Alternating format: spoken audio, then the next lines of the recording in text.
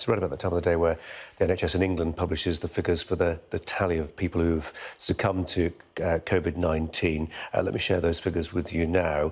Uh, it's a story of fractional improvement, but the number is still huge, of course. Uh, yesterday, the number of people in England that, the, that had died in a or whose deaths had been recorded and reported in a 24 hour period yesterday was 828.